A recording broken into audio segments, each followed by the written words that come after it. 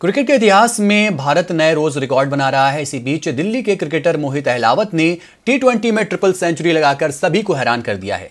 दिल्ली के ललिता पार्क में खेले गए टी मैच में मोहित ने सिर्फ़ बहत्तर गेंदों में उनतालीस छक्कों की मदद से नॉट आउट 300 रनों की शानदार पारी खेली। मोहित मावी एकादश की ओर से फ्रेंड्स प्रीमियर लीग में फ्रेंड्स एकादश के खिलाफ खेल रहे थे। मोहित की टीम ने 416 रन बनाए, जिसके बाद उनकी टीम ने 216 रन से जीत हासिल की। आपको बता दें, क्रिकेट लीग में सर्वाधिक व्यक्तिगत स्कोर वेस्टइंडीज के क्रिस गेल के नाम है।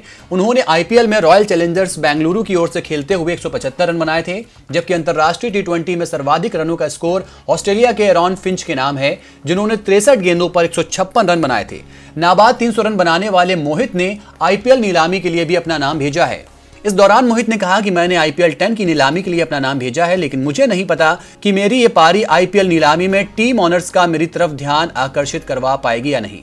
मोहित दिल्ली की लाल बहादुर शास्त्री एकेडमी में अभ्यास करते हैं। इस अकेडमी से गौतम गंभीर और अमित मिश्रा जैसे बड़े खिलाड़ी निकले हैं। फ़िलहाल मोहित अलावत दिल्ली रणजी टीम की ओर से भी खेलते हैं। नाबाद तीन सौ रन बनाने वाले मोहित दिल्ली विश्वविद्यालय के खालसा कॉलेज में ग्रेजुएशन अंतिम साल के छात्र हैं।